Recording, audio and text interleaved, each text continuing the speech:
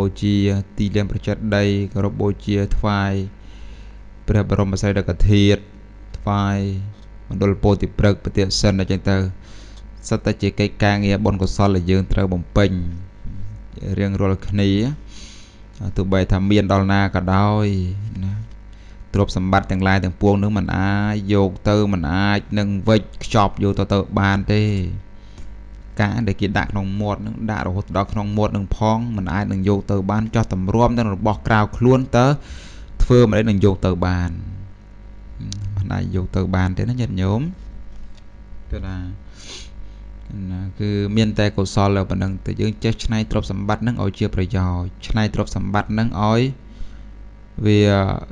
ជាសារៈសំខាន់សម្រាប់យើង ក្នុងពេលជាបច្ចុប្បន្ននេះផងសម្រាប់យើងនៅក្នុង ពេលជាបរលោកនឹងផងយើងឆ្នៃទ្រព្យសម្បត្តិយើងចាយក្នុងពេលជាបច្ចុប្បន្ននេះទិញធ្វើអ្វីអ្វីគ្រប់យ៉ាងឬក៏សម្រាប់បំរើនៃជីវិតរបស់យើងជាបច្ចុប្បន្ននេះហើយយើងឆ្នៃលុយកាក់នឹងឲ្យវាជាប្រយោជន៍សម្រាប់យើងទៅក្នុងលោកខាងមុខទៅទៀតណាលោកខាងមុខទៅទៀតគឺយកវាទៅធ្វើសេចក្តីល្អយក វាទៅចាយវាចេះចែករំលែកដល់ជនដទៃចេះទិញនេះទិញនោះបូជាឲ្យទានចំពោះជនទុរគាត់ខ្សត់ក្រចំពោះពួកសមណៈព្រាមទាំងឡាយទាំងពួងនោះទៅណានេះសិតតែជាអំពើដែលយើងធ្វើដើម្បីជាស្ពានជាចណ្ដើសម្រាប់ជីវិតរបស់យើងទៅ ក្នុងបរិលោកទៅក្នុងលោកខាងមុខនោះណា កណាអានេះគឺខ្ញុំកណាអាត្មាលើកឡើងតេតងប៉ុណ្ណឹងតេតងទៅនឹងព្រះគាថាមួយកន្លែងលើកឡើងមកក្នុងថ្ងៃមយៈកបូជានេះញាតិញោមណាហើយសង្គមញាតិញោមពុទ្ធបរិស័ទអញ្ជើញមកទាំងអស់គ្នាក្នុងថ្ងៃនេះញាតិញោមពោលថ្ងៃនេះញាតិញោមគឺចាប់ផ្ដើមមហាញាតិញោមនៅខាងស្រុកគុលបរិយខាងផ្សារដែលបានស្រាប់លឺហ្នឹងគឺអញ្ជើញមកពោលគឺចាប់ផ្ដើម ហែប្រហែលជាឆាន់ត្រង់រួចគឺរៀបរៀបរាប់ឲ្យញាតិញោមពុទ្ធបរិស័ទហែបតិសិនត្រង់ចំណុចណាទៅចំណុចណាគឺដូចឆ្នាំមុនដដែលហ្នឹងប៉ុន្តែយើងរក្សាគម្លាតគ្នាការពារវីរុសមានពាក់ម៉ាស់បាញ់អកុលអីជាដើមណា ដើម្បីការពារសុខសុវត្ថិភាពសុខភាពរបស់យើងគ្រប់ព្រះអង្គគ្រប់គ្នាណាធ្វើបុណ្យកុសលមិនមែនជាការចម្លងរោគទេគឺធ្វើកុសលនឹងផង បានទាំងបុណ្យបានតែការជួបជុំគ្នាដោយមានការប្រុងប្រយ័ត្នគ្រប់គ្រប់គ្នាប៉ុណ្ណោះសូមអនុមោទនាកណាជាកិច្ចបន្តនឹងរតនីបងប្អូនដើម្បីចូលរួមទាក់ទងទៅនឹងសាច់រឿងត្រង់ចំណុចសេចក្តីណា ប្រមាណជា 10 20នាទីត្រង់ចូលរួមចំណុចសេចក្តីណាហ្នឹងក៏រតនី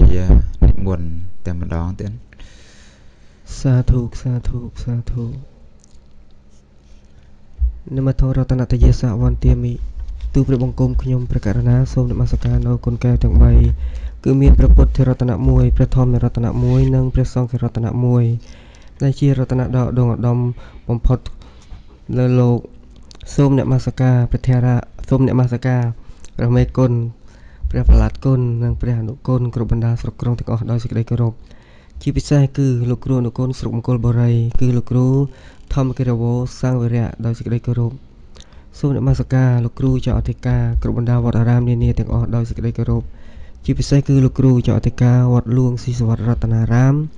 គឺលោកគ្រូថេតិញាណោសិញសៀប ដែលជាគ្រូចៅអធិការ និងជាលោកគ្រូអគ្គនាយកធម្មវិទ្យុលួង SM 97.00 MHz ដោយសេចក្តីគោរព និងសូមនមស្ការព្រះធរានុធរៈភិក្ខុសាមណេរអ្នកបួសមុនដោយសេចក្តីគោរព និងសូមនមស្ការម្ចាស់បងប្រធានកម្មវិធីពុទ្ធមនីឈុនព្រឹក ដែលមានវត្តមានក្នុងបន្ទប់ផ្សាយនេះផ្ទាល់ដោយសេចក្តីគោរព និងសូមចម្រើនពរញាតិញោមពុទ្ធបរិស័ទចិត្តឆ្ងាយទាំងអស់ ដោយសេចក្តីរាប់អានចឹងគឺថាថ្ងៃនេះគឺជាថ្ងៃសិលហើយក៏ជាថ្ងៃមាឃបូជាចឹងហើយញាតិញោមនៅតាមបណ្ដាស្រុកខេត្តទាំងអស់អាចចូលរួមហែលបាននៅតាមវត្តអារាមដែលនៅចិត្តផ្ទះរបស់លោកអ្នក ហើយក៏សូម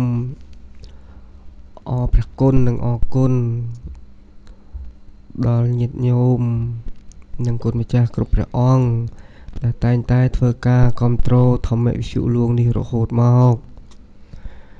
មួយរយៈពេលនេះគឺថាធម្មវិសុលួងយើងនេះមានការរអាក់រោលខាងអង្តែនផ្សាយទៅមិនសូវច្បាស់ឬផាត់ផុតផុតផើយផើយក៏ប៉ុន្តែ ស្មាបានដំណឹងពីព្រះអង្គម្ចាស់គ្រូដែលជាលោកគ្រូអគ្គនាយកធម្មវិសុលួងយើងហ្នឹងប្រហែលជា3ថ្ងៃទៀតទេញាតិញោមគ្រឿងដែលកំងពីអ៊ីតាលីហ្នឹងគ្រឿងអង្តែនហ្នឹងគឺថានឹងមកដល់ហើយ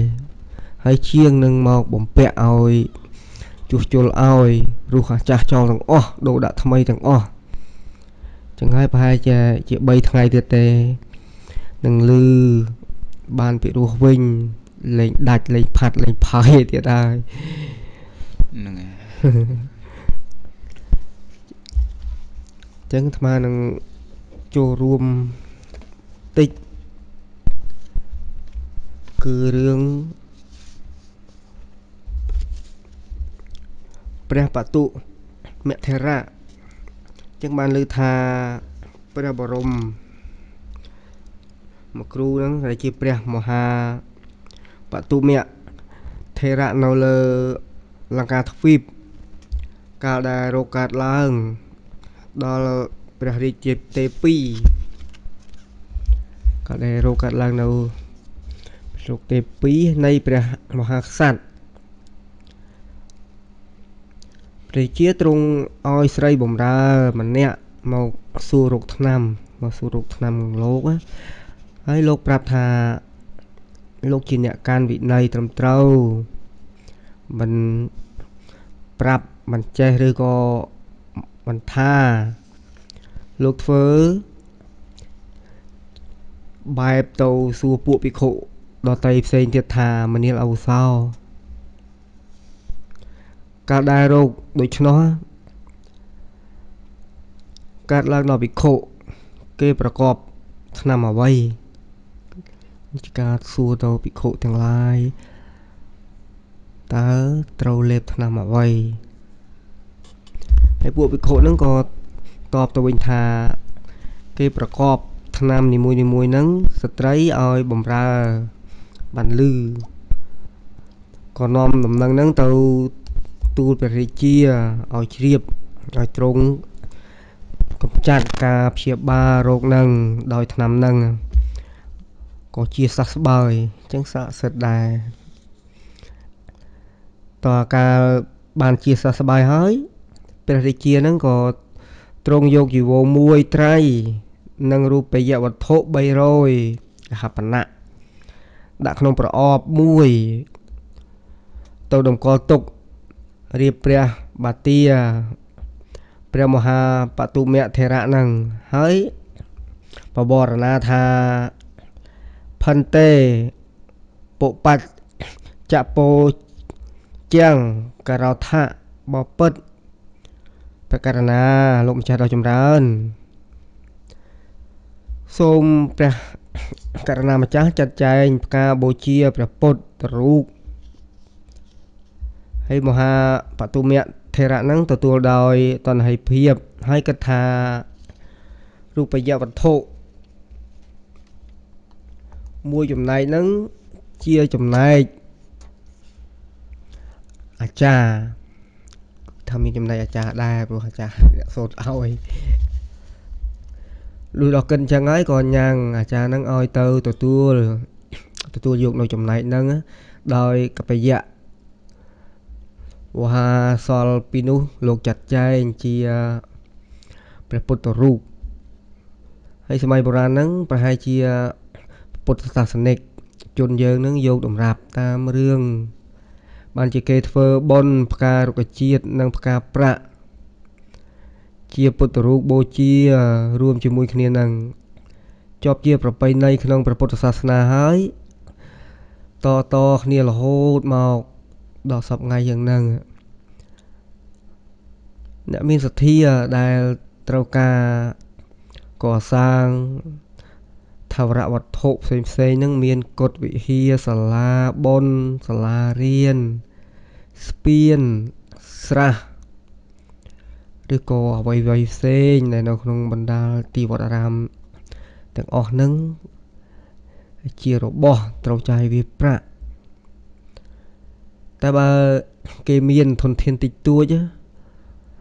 มันអាចកសាងបានទេតែម្នាក់ឯងត្រូវផ្ដើមធ្វើបុណ្យ ដូចជាបុណ្យអ្វីមួយអីចឹងទៅ ដើម្បីឲ្យ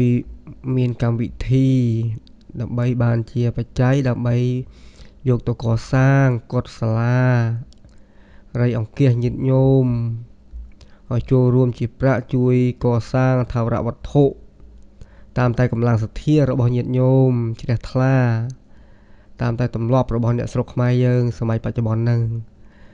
គឺថាទោះបីជាអ្នកមានធនធានច្រើនក្តីតិចក្តីដែល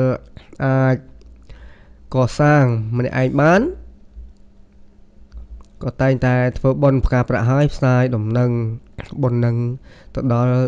ញាតិមិត្តចិត្តឆ្ងាយឲ្យជួយឧបត្ថម្ភគឺថាយើងធ្វើបុណ្យអ្វីមួយ យើងត្រូវតែផ្សព្វផ្សាយដើម្បី ចែកជូនជាដំណឹងឲ្យប្រជាពលរដ្ឋឬក៏ញាតិញោមពុទ្ធបរិស័ទអ្នកស្រុកអ្នកភូមិហ្នឹងឲ្យបានលឺបានជ្រាបនៅដំណឹងដំណឹងហ្នឹងដើម្បីឲ្យពួកគាត់ទាំងអស់ហ្នឹងមានសេចក្តីជ្រះថ្លាចូលរួមសាងអំពើបុណ្យដែលជាជនអ្នកមានសទ្ធាជ្រះថ្លាហ្នឹងក៏តែងតែជួយចូលកុសលជាច្រើនអ្នក បានប្រាក់ចំនួនច្រើនចឹងទៅក៏បបរណាចំពោះព្រះសង្ឃហើយក៏ប្រកេនគហបណៈគណៈកម្មការប្រកេនគណៈកម្មការឲ្យចាត់ចែងកសាងនៅថាវរៈវត្ថុតាមតែតម្រូវការដែលតម្កល់ទុកជាកំណប់បុណ្យប្រេងតទៅ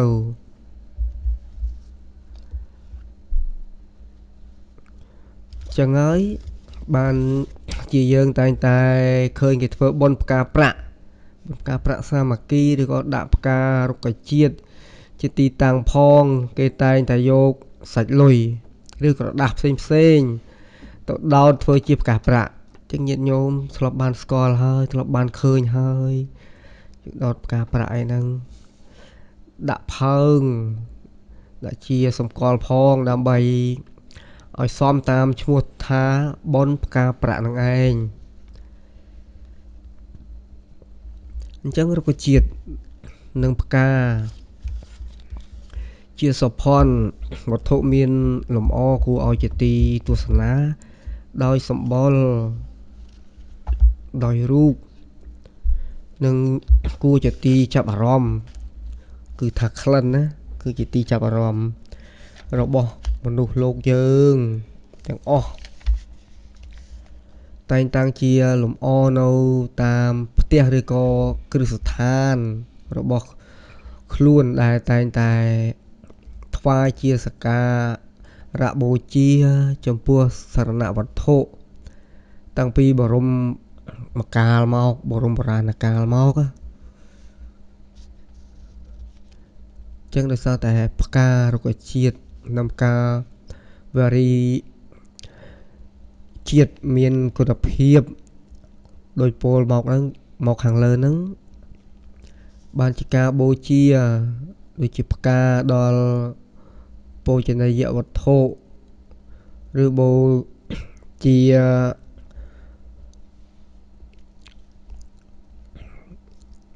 តាមបណ្ដាវត្តអារាមនៃថ្ងៃសិលអញ្ចឹងគឺថាតាម ដើមពោថាបានផលៈនិសងច្រើន តាមតែកម្លាំងចិត្តសទ្ធា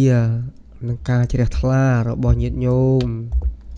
ដូចជារឿងនាយសុសុមៈអ្នកមាលាកាដែលបានបូជាផ្កាមលិះបូជាផ្កាមលិះចំពោះព្រះសម្មាសម្ពុទ្ធ ចឹងផលៈអនិសងនៃការបូជាផ្កា ឬក៏ជាការសាងសង់សាលា បង្គន់ វិហារ នឹងគឺសុទ្ធតែបានផលៈនិសងច្រើនចឹងហើយគឺថាបុណ្យងាយស្រួលបំពេញទេខ្លាចតែយើងមិនជ្រះថ្លាមិនព្រមបំពេញ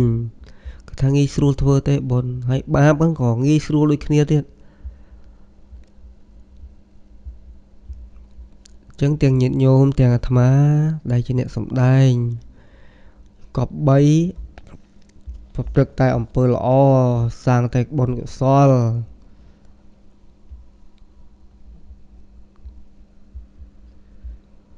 ចឹងមើលពេលវេលាក៏គីឲ្យដែរសល់តែ18នាទីទៀតទេចឹងអាត្មាចូលរួមមានតែប្រមាណប៉ុណ្ណឹង បើសិនជាមានការខុសឆ្គងនៅពាក្យពេចន៍សម្ដីត្រង់ណាមិនសមរម្យ ឬក៏ពិបាកក្នុងការស្ដាប់ ក្នុងការរាល់ការអាត្មាសម្ដែងក៏សូមគុណម្ចាស់គ្រប់ព្រះអង្គនិងញាតិញោមទាំងអស់គ្នា ដែលបានស្ដាប់ឮសូមធ្វើការអធិស្ឋានខន្តី និងអត់ទោសដល់ខ្ញុំប្រ ករណាអាត្មានេះផងហើយក៏សូមប្រកេនកម្មវិធីជូនសូមចាស់បង ពុទ្ធមនីឈុនព្រែកសូមរតនានិមន្តកណាទាំងកណាសាធុសាធុសាធុទាំងអស់ប្រគុណច្រើនទាំងដែលបាន ចូលរួម ជាធម្មទាន ក្នុងថ្ងៃពហុនេះទាំងលើករឿងមកញាតិញោមពុទ្ធបរិស័ទប្រុសស្រីបានជាការសម្ដាប់ប្រគិនដល់លោកម្ចាស់ជូនញាតិញោមពួកអស់ប្រគុណច្រើនចាស់ប្អូនបងដែលបានចូលរួម ជាធម្មិកថាខ្លីទាក់ទងទៅនឹងថ្ងៃមាកបូជាថ្ងៃនេះក៏ណាហើយញាតិញោមពុទ្ធបរិស័ទគឺជ្រាបដឹងហើយគឺ ទិវានៃបុណ្យមេកបូជាមេកប៉ុណ្ណមីហ្នឹងក៏ជាទីប្រពណាទ្រង់ដាក់បជននិមយុសង្ខាណាក្នុងទីអារាមខ្លះក៏ស្មូតទៅមួយរាត្រីមួយយប់ពោះព្រឹកទៅ ណាធម្មសង្វេគណាពេលល្ងាចនឹងក៏ផ្ដើមកម្មវិធីប្រពធ្វើបន់នេះនេះ បូជាចំពោះគុណនៃព្រះពុទ្ធបូជាចំពោះគុណនៃព្រះធម៌បូជាចំពោះគុណនៃព្រះសង្ឃជាការចម្រើននៃកុសល ជាការចម្រើននៃបុណ្យ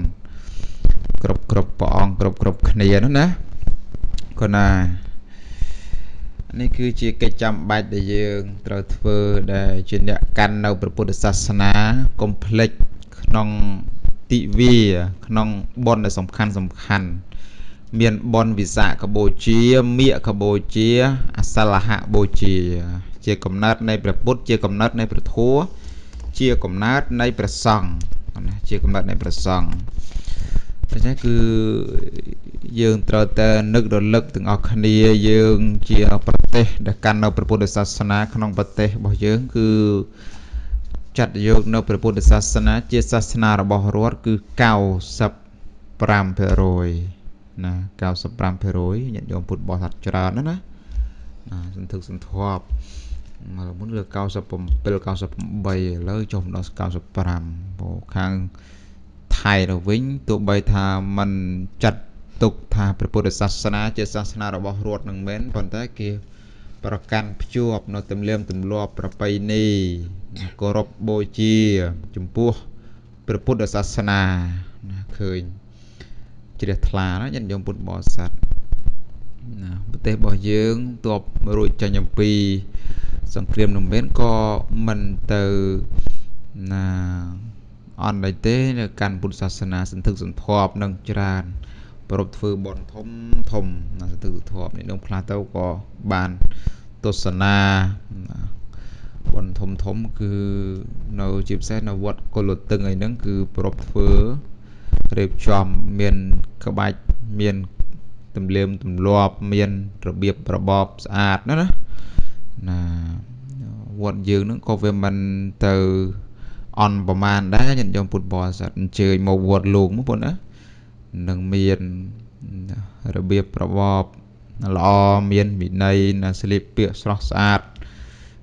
ឃើញគួរជាទីរីករាយគួរជាទីជ្រះថ្លាណាញាតិញោមណា នេះគឺជារឿងចាំបាច់ដែលយើងត្រូវធ្វើទាំងអស់គ្នាណាទាំងអស់ព្រះអង្គដែលយើងជាអ្នកកាន់នៅពុទ្ធសាសនាដែលជាអ្នកមានសទ្ធាជឿជាក់នៅគុណនៃព្រះពុទ្ធគុណនៃព្រះធម៌គុណនៃព្រះសង្ឃបងប៉ុន្តែអញ្ចឹងញាតិញោមពុទ្ធបរិស័ទអាចខលចូលរួមបានពោអាត្មាទុកឲ្យញាតិញោមប្រហែលជា14នាទីណា14នាទីឬក៏16នាទីពូ ញាតិញោមពុទ្ធបរិស័ទអាចខលចូលរួមបានពូអាត្មានឹងទទួលណាញាតិញោម